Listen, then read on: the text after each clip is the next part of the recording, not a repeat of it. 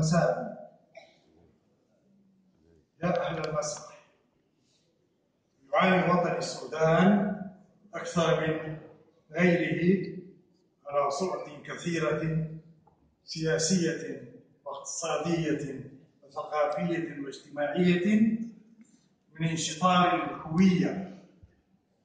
وشق منه عربي وشقه الآخر إفريقي.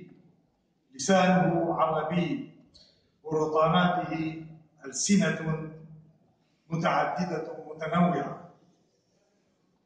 سحناته عربية وإفريقية وجذوره مختلفة عديدة فهو جسر لثقافة العرب إلى إفريقيا وهو محل تفاعل ثقافة إفريقيا مع الأوروبا. تظل إشكالات أهل السودان من خياراتهم وواقعهم وآفاقهم. فمنذ استقلاله يشهد السودان لإقامة مجتمع متماسك واحد ولكن هيهات فالشمال شمال والشرق شرق والغرب غرب والجنوب جنوب. ولقد انشغل المثقفون بهموم الوطن وأناسه وذهبوا في ذلك بانشغال مذاهب شتى. كان لنا نصيب منها في مطالع الستينيات من القرن الماضي. عندما كنا شبابا في جامعة الخرطوم العتيدة فتنادينا نحن كوكبة من شعراء الوطن لطرح حيز إبداعي جديد للثقافة السودانية.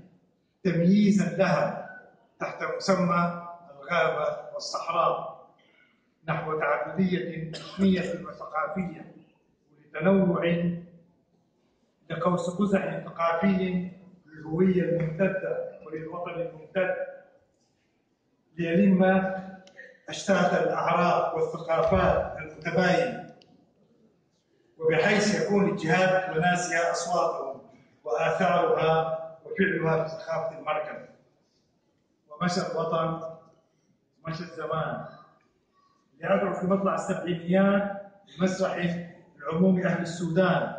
متخذا من مجمل أشكال التلاقي والتجمعات الشعبية في الحل والترحال في البر والنهر في البادية والحضر في الغابة والجبل. ملعبا ومسرحا ومكانا لمصلحة لصيغة بالناس لقضاياهم. وأسهبت في ذلك الشأن تفصيلا لأشكال وصيغ للمسرح الطقوسي والتراثي والتقليدي تعدادا لها وابتعادا بها عن الصيغ الأوروبية عن المنصة الإيطالية بل وعن المباني الدائمة المتعارفة للمسارح خروجا إلى أرض الله الواسعة وكل مكان نظيف فيه شمس وفيه بدر تمام. وفيه متلق ومؤذن هناك يكون المسرح الذي نريده. وما المسرح الذي نريد؟ إنه ذلك الكشاف المباشر لما يحتمل في النفس وما يحتوي المجتمع وما يطرح من سبل ينصلح بها حال الذات والجماعة. لا نريد مسرحا للنخبة أو لفئة قليلة في بلداننا التي ترزح تحت نيل الحروب. والجوع والفقر والمرض بمثل بلادي الكليلة العليلة الممزقة المقطوع شطرها الغابه جنوبا والمنفصل شقها الصحراء شمالا. لا نريد للمسرح إلا أن يكون أداة اجتماعية ووسيلة للمقاومة وللكفاح ضد التفرقه والاحترام على المسرح أن يكون في مناطق النزاع والشقاق وفي أماكن العلم والتنمية فرصة للتسامح والتعايش والحوار بل تقريب شقة الخلاف والاختلاف.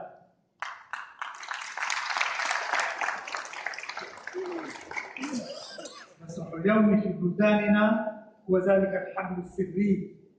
ولا ينبغي إلا أن يكون عضويا بسيطا مباشرا متحللا من الزوائد منطلقا من الناس ومن وحيهم ليكون المسرح وصلا كل مكان. فما جدوى مسرحي في المدينة لمن يسخره لإلهاء في غير مصلحة الناس وإنما ركوع البلاد بغم وهم وظلمة الليل.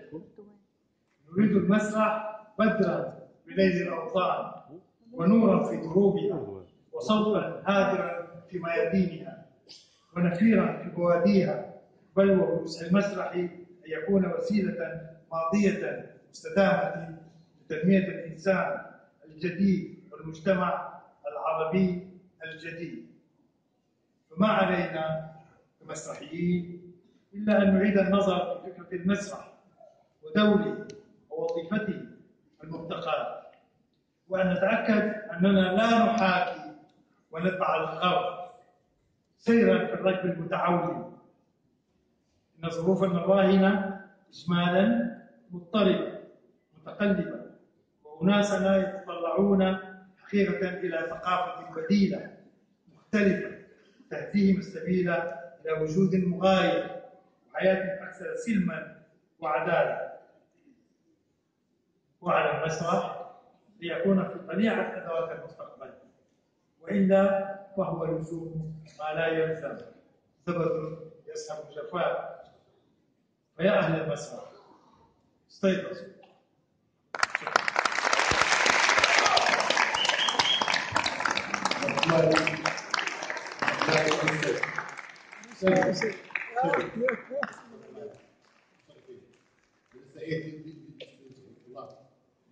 زول زول زول هذا صح وازيكم؟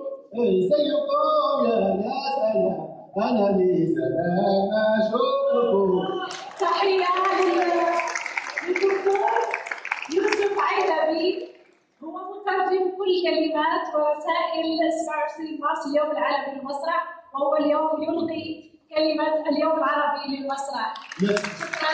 دلوقتي وانا تفضل. مش الفلوس طالع يلا مو شوي الدكتور يوسف عيدبي هو مستشار سمو الشيخ امير الشارقه ومستشار الهيئه العربيه للمسرح تفضل شكرا